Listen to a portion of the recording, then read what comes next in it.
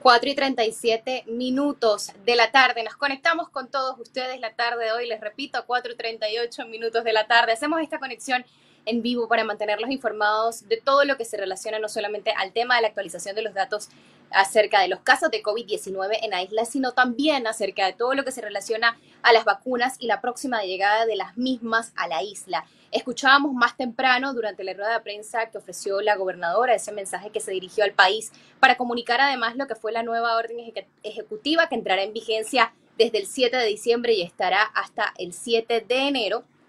también se tocó el tema de lo que serían las vacunas en la isla. En ese momento se dio a conocer eh, el ayudante general de la Guardia Nacional de Puerto Rico, José Reyes, dijo que el CDC anticipó que la distribución de las vacunas sería de manera, vamos a decir, semanal. Y además también dijo que se espera que la aprobación de la FDA sea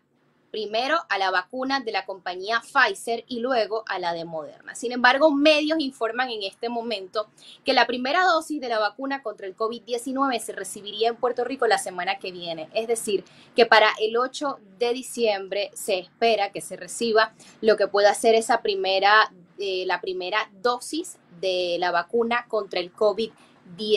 Esto es importante porque además se relaciona a una información dada a conocer y confirmada recientemente en la que el oficial ejecutivo del Hospital Ashford en San Juan, Domingo Cruz Vivaldi, dijo que la vacuna llegaría a Puerto Rico la semana que viene, que firmaron un acuerdo eh, con el Departamento de Salud para vacunar a todo el personal de la clínica Ashford. También hicieron mención en especial a que todo va a apuntar y todo depende a lo que sería eh, la respuesta de la FDA. Sabemos que es un proceso, el, el proceso de aprobación dura aproximadamente 48 horas por una gestión administrativa, por lo tanto se esperaría que a partir del 10 de diciembre ya la vacuna pueda ser suministrada. También en información y en especial en conversación durante el live que realizamos ayer con el doctor Colón, Miguel Colón y también con el doctor Lemuel, hablábamos que hay muchas esperanzas en lo que es el tema de las vacunas en el país. Sin embargo, es un proceso que va a,